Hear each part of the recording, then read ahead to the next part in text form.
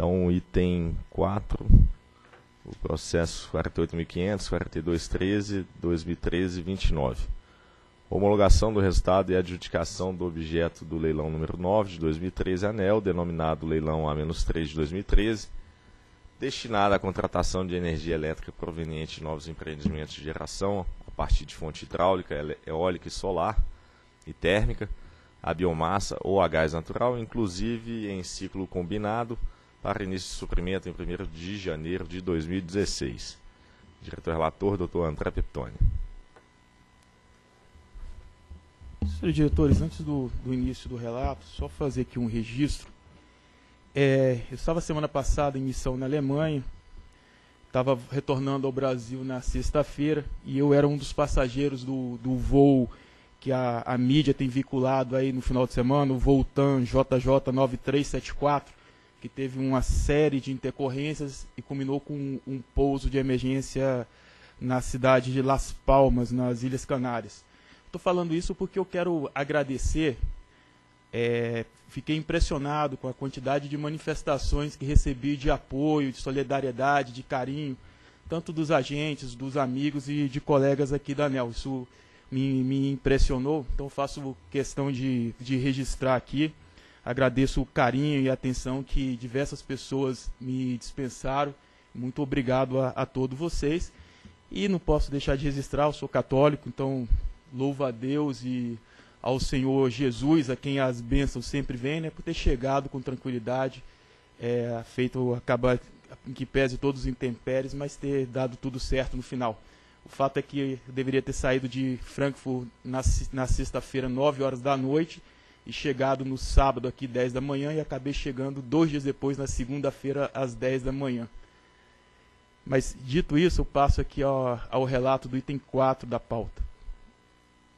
É, em 17 de outubro de 2013, a ANEL tornou pública a realização do leilão número 9 2013, destinado à contratação de energia elétrica proveniente de novos empreendimentos de geração a partir de fonte hidráulica, eólica, solar, nas duas modalidades de tecnologia, fotovoltaica e a term termosolar, e a fonte térmica proveniente de biomassa ou gás natural, inclusive em ciclo combinado, para início de suprimento em 1 de janeiro de 2016, conforme os desígnios da portaria do Ministério de Minas e Energia de número 226 de 2013, ao divulgar na internet o edital e no Diário Oficial da União o aviso de convocação. Em 24 de outubro de 2013, esteve aberto prazo para pedidos de esclarecimento sobre o edital. Em 5 de novembro de 2013 foi disponibilizado no sítio da ANEL adendo ao edital contendo as respostas a tais pedidos. E entre 6 e 10 de novembro de 2013, os interessados se inscreveram via internet para participação no leilão e até o dia 11 de novembro aportaram as garantias de participação. A sessão pública do, le do leilão ocorreu em 18 de novembro de 2013, conduzida pelas Bolsas de Valores, a BMF e Bovespa, com supervisão da Comissão Especial de Licitação da ANEL no recinto da Bovespa em São Paulo. 5 de fevereiro de 2014, a Comissão de Licitação então emitiu o relatório de análise da documentação a, de habilitação, pois a habilitação é feita após o leilão, a aplicação aqui da inversão de fases, e encaminhou esse, o, o processo para pro, apreciação da diretoria colegiada da ANEL com vistas à homologação e adjudicação do objeto leilão número 9 2013. Em 17 de fevereiro de 2014, o processo foi a mim distribuído, em razão do término do mandato do relator, que era o diretor Edivaldo Santana. É o relatório. Procuradoria. Trata-se aqui de homologação do resultado e adjudicação do leilão A-3 de 2013 fundamento legal está no artigo 3º-A, inciso 2 da Lei 9427, no artigo 2 da Lei 10848. Ah, a minuta eh, de adjudicação foi examinada pela, pela Procuradoria e entende a Procuradoria que a matéria está em condição de ser, de ser deliberada pela diretoria. Trata-se da homologação do leilão número 9 2013 e da adjudicação aos vencedores do certame dos respectivos objetos licitados, qual seja as outorgas de concessões para a prestação de serviço público de transmissão de energia elétrica.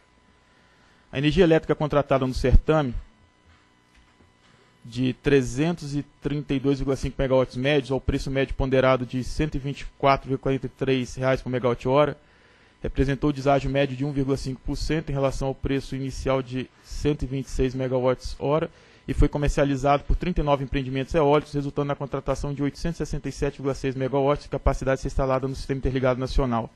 As tabelas 1 e 2 a seguir detalham esses resultados relativos às vencedoras e compradoras, respectivamente. Então apresenta aí a tabela com, com os resultados. Conforme se verifica no relatório de julgamento exarado pela CEL, os documentos de habilitação apresentados pelas proponentes vencedoras foram analisados à luz das exigências contidas na seção 11 do, do edital. Nos termos da cláusula 11.4 do edital, para o saneamento de falhas, complementações de suficiências ou ainda correções de caráter formal, a CEL abriu diligências para complementação da documentação apresentada pelos proponentes vencedores do certame. As tais diligências da CEL recomendou a adjudicação do objeto do leilão número 9 por constatar que os proponentes vencedoras apresentaram então a documentação de habilitação e a adimplência para as obrigações setoriais. Quanto aos compradores em, des em desacordo com o item 2.1.2 do edital, as seguintes concessionárias de distribuição apresentaram a situação de inadimplência, que foi a Caiuá, SEB, a CE, a Celtim, Semate, a Cepisa, a Elétrica Bragantina e a Enersul. E diante desse fato, a CEL recomendou o encaminhamento do relatório de julgamento da habilitação à Superintendência de Fiscalização Econômico-Financeira com vista à análise da irregularidade apresentada pelas concessionárias inadimplentes. A partir de tais argumentos e do que consta no processo 48.500.00.42.13.2013 2013 29, voto então pela homologação do resultado de adjudicação do objeto leilão número 9, denominado leilão menos 3 de 2013, destinado à contratação de energia elétrica proveniente de novos empreendimentos de geração a partir de fonte hidráulica, eólica, solar e térmica, inclusive em si combinado, dos proponentes vencedores constantes da tabela 1 deste voto para o início suprimento a partir de 1 de janeiro de 2016.